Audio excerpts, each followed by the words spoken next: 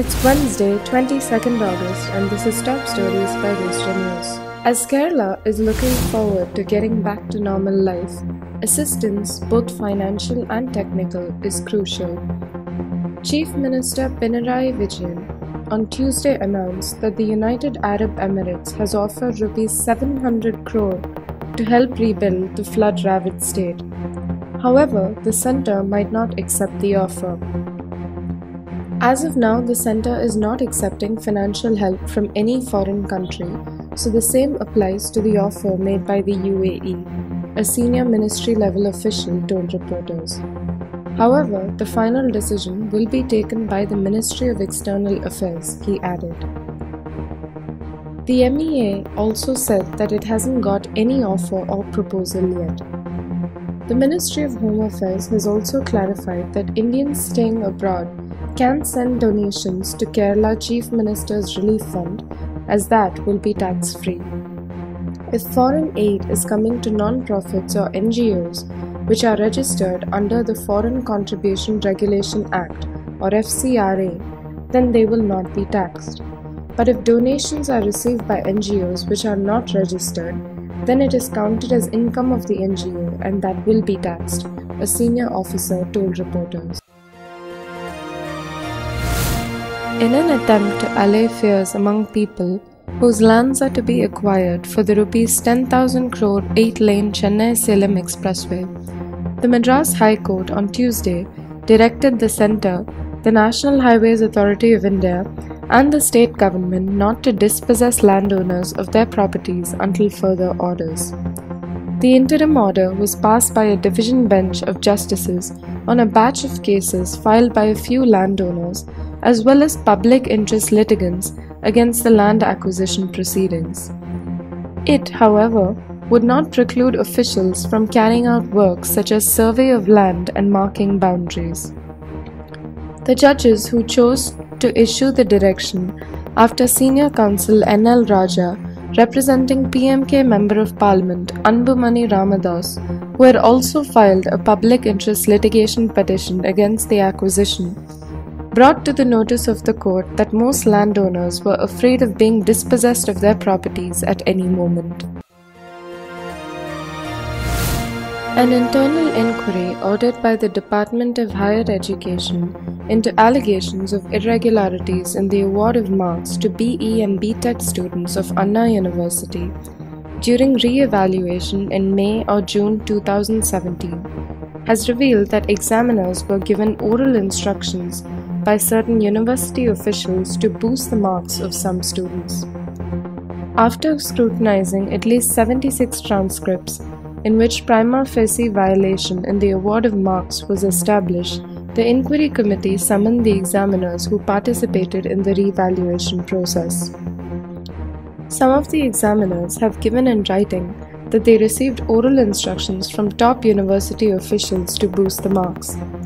It is not clear why all the 3.02 lakh answer scripts of over 500 engineering colleges were moved to Tindivanam Zone 5 Center for Revaluation instead of distributing the work to all the 23 zones across the state. The suspicious answer scripts may have been handed over to the Directorate of Vigilance and Anti-Corruption DVAC for investigation, a senior official told reporters. Of the 3 lakh odd engineering students who applied for revaluation, 73,733 passed and as many as 16,636 were benefited by a significant improvement in marks. Despite scoring well in Jamia Millia Islamia school board examinations, Muhammad Amir Ali failed to get admission to a BTech course for three consecutive years.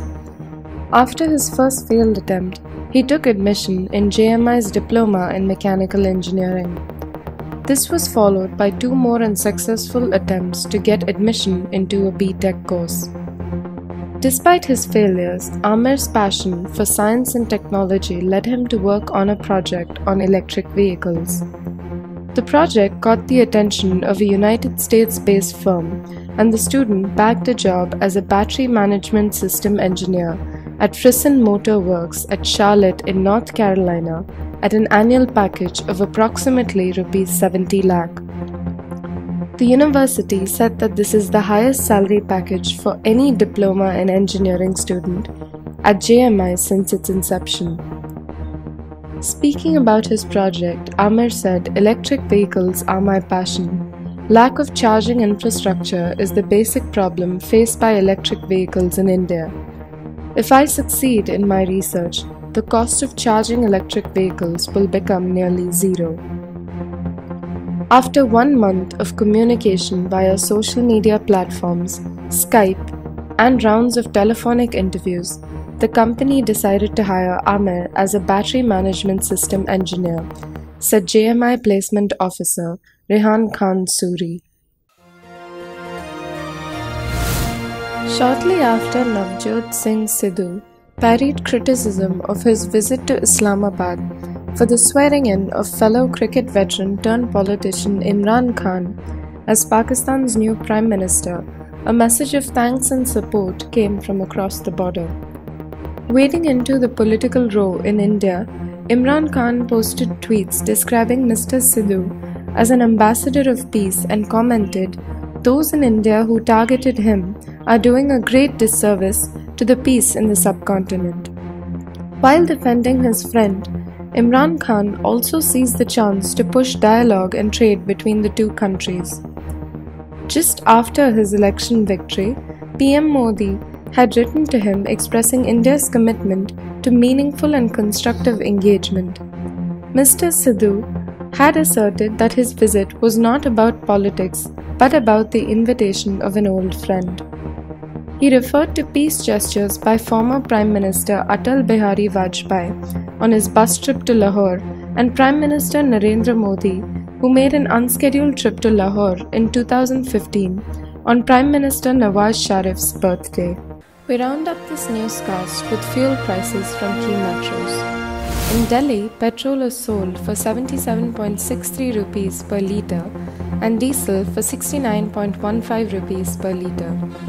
In Chennai, petrol is sold for 80.64 rupees per litre and diesel for 73.04 rupees per litre.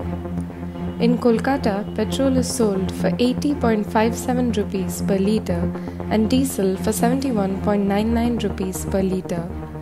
In Mumbai, petrol is sold for 85.05 rupees per litre and diesel for 73.41 rupees per litre.